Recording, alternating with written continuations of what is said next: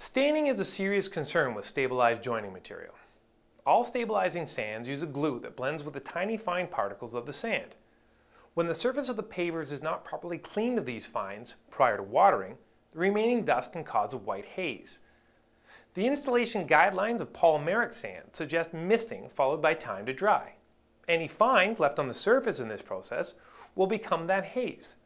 A heavy spray is not recommended as it will wash the binders right out of the sand. All this leads to a serious staining concern that is growing throughout the industry. Now, in contrast, Envirobond uses a unique two-stage watering system that eliminates any worries of staining. Because the plant-based gel is activated immediately with watering, an initial misting will gel the surface particles but still allow water to drain through.